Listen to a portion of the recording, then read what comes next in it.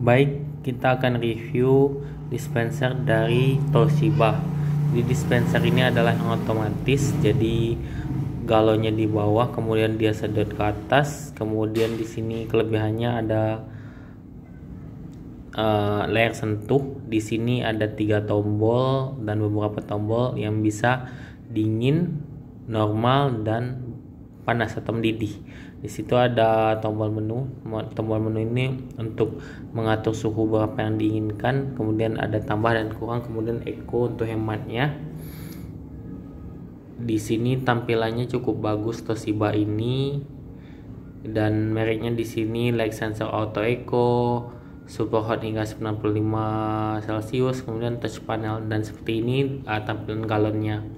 Jadi dibuka dari ki kanan ke kiri Nah, ini sudah pemakaian 2 tahun dan sejauh ini aman-aman aja. Kalau jadi tombolnya ini ada cold, ini yang normal, normal tapi kadang lebih ke dingin ya. Kemudian boiling. Nah, itu 8283 ini adalah suhunya. Dan 6 ada suhu yang dingin. Jadi seperti itu modelnya. Tampilannya nyaman, praktis.